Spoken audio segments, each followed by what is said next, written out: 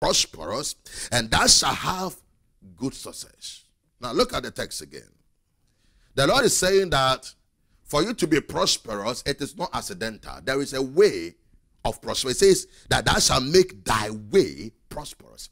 There is a way of prosperity. The more you walk in that way, the more prosperous you become. There is a way. Today I'm speaking on the way of prosperity. So you have to understand there is a way. And for you to get into that way, there's some things you should be doing. So the Bible says the first thing you have to be careful about is what you are talking about. Be careful of your speech. Don't let say the book of the law should not depart of thy mouth. So if you are going to speak, it should be the word of God. Let your words be seasoned with salt. That it shall minister grace to the hearers thereof. You see, uh, you have to be very careful what you speak. For life and death are in the power of the tongue. The, the, the Bible a man's belly shall be filled with what? With the words of his mouth. What you speak has influence on your environment. What you decree today will become your own self-fulfilling prophecy of your future. What you are speaking today is recreating your life ahead of you. So be very careful of what you are saying. But interestingly, what you say is already is, is literally influenced by what you have embraced in your mind. So he says to him, This book of the law shall not depart out of thy mouth, but thou may, shall meditate therein day and night. Your, your meditation will affect your utterance. What you think about the most is going to determine what you speak about the most. Let me say it again. What you think about the most is going to influence what you talk about the most. So you have to be very careful that whatever you are meditating on, focused on, that that that your your imagination is going to affect your utterance, and your utterance has a very critical factor in determining how prosperous you become. So therefore, the Lord says to Joshua that Joshua, I want you to meditate in my word.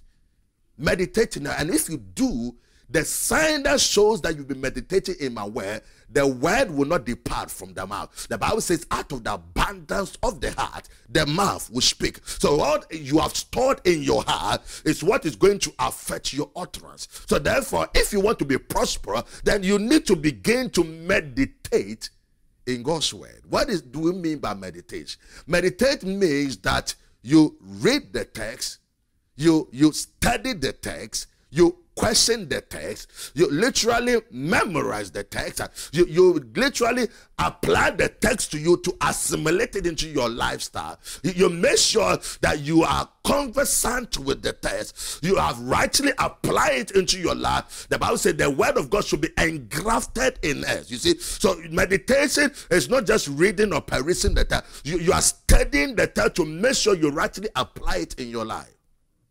The Bible says, meditate in the word day and night. So therefore, whatever that must be in our mind should be the word of God continuously, 24 hours.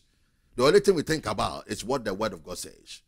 You don't think about any other thing. In Psalm 1, the Bible says, Blessed is the one who meditates in God's word. He shall be like a tree planted by the rivers or uh, by, by, the river.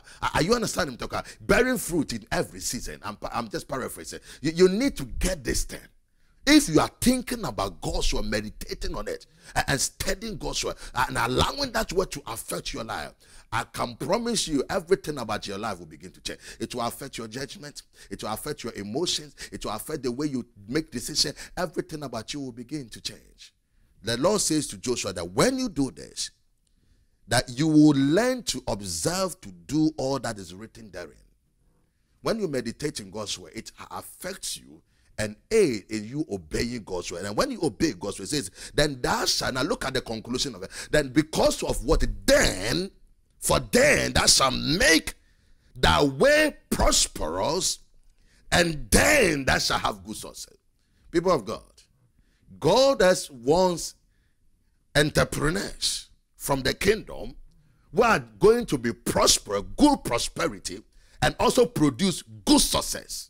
And I'm hoping that you are one of those. And if you are going to be prosperous, it is not you having companies and, and uh, trying to get some strategies to, to initiate a new concept and uh, uh, uh implement a, a, new endeavor. Uh, you're trying to get more job done. That is not it. People of God, God is looking for entrepreneurs who are spirit filled, uh, spirit minded, spirit controlled, influenced by God's word. When they open their mouth, the only thing they talk about is kingdom principles. The, the only thing they can say is what the Lord of God, the word of God is saying. And I'm hoping as I'm speaking to you, you, you, you will be part of that generation.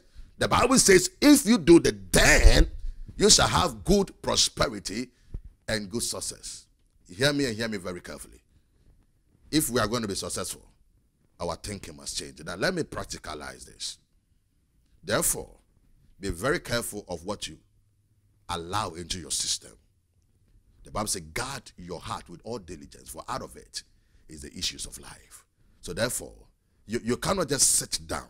I just want to give you some practical concepts. You, you cannot just sit down and prosperity will just happen.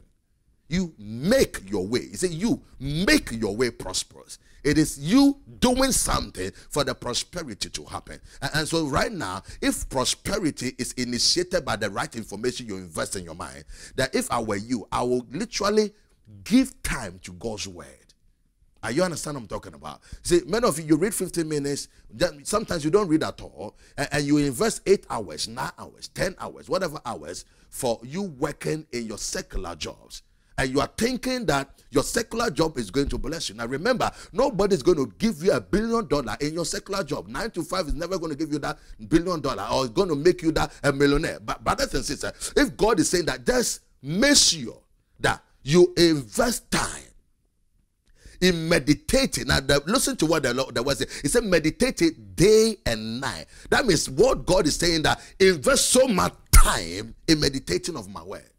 When you do that, the God who wrote the script on prosperity, the one who knows the hidden treasures of this earth, the one who hit the gold, he knows the veins of the gold, the silver and the gold belongs to him. He, he owns the cattle on a thousand hills, the earth and the earth and the earth and the fullness that belongs to him. Everything is and he's saying that if you can do this, you will make your way prosper. It is a choice. Prosperity is a choice. Poverty also is a choice.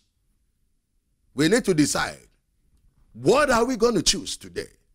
Hear me and hear me very carefully. He says, Make your way prosperous. That shall make that way prosperous, and that shall have good success. What must we do then? I want you to allocate some time and read the Bible because you've never read before. Write notes, study, meditate on those words. Begin to get some concept of the scripture and begin to declare it. As you are walking around, declare it even upon your life. In the morning, when you get out of bed, declare some things whilst you're going to bed, declare some things. Whilst you're walking, you are imagining and meditating on God. So even whilst you are walking, you're going to work, you are thinking about what you have read in the text. You are imagining how it's going to benefit you, how to rightly apply it. You, you just want to cause that word of God to be engrafted in you.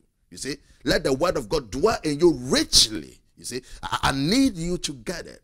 Therefore, then the, you need to read a lot of books, not just any books.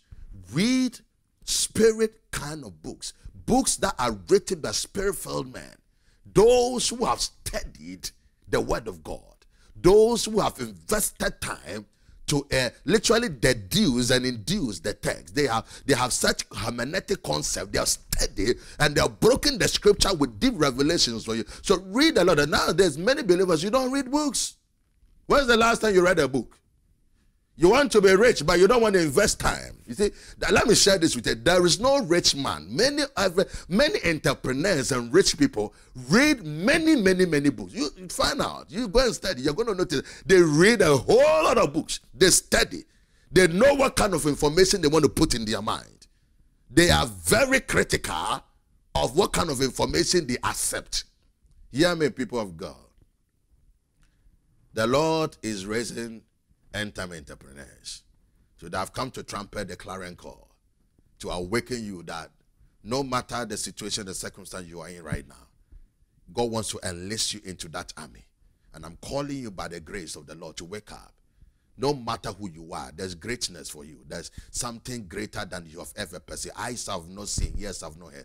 Neither has it entered the heart of man. Those things that God has prepared. God wants to bless you beyond understanding. And if you are there listening to me, I want you to just stretch off your hands and say, Father, I want to be part of that team. I just want to be using this end time to finance the gospel. Father, I pray for everyone listening to me. I pray that your light will shine even upon them. The, the, the, brightness of your grace will dawn on them. Every darkness will be dispersed. They will be liberated from every mental myopia, any cultural hypnosis. They, they, they will be released into a place in you whereby they experience your benevolence. They, they will begin to strive for your heritage, but not in the wrong way. But they will learn how to make their way prosperous. That, that something will click, something will happen to them. that there will be as a change in them. Their thinking will change Oh my God, I thank you for the wonderful things you are doing. I thank you for awakening the army, stirring out a generation of entrepreneurs, people who have been filled with the Holy Ghost, a, a generation of spiritpreneurs. I thank you for what you have done. In the mighty name of Jesus Christ, we pray. If you have been blessed by this message, I want you to keep on visiting us on Crusaders website, crusaders.www.crusaders.biz, and come and support this ministry. And I'll also be so glad if you can send me an email to also let me know how you feel and what kind of topics you want us to discuss. Because in Spiritpreneur, we are not just going to talk about spiritual things, we are, we are going to teach on practical business concepts, things you can do right now to start a business. So we are going to talk about how to uh, get capital for your business, what kind of internet business you can start right now, things you should be doing right now that will get you into into wealth. So keep on praying for me. Until next time, this is Pastor Reindorf Mantey of Crusaders Ministries International. God bless you. Speaking on prayer prayer. God bless you. Until next time. Bye bye.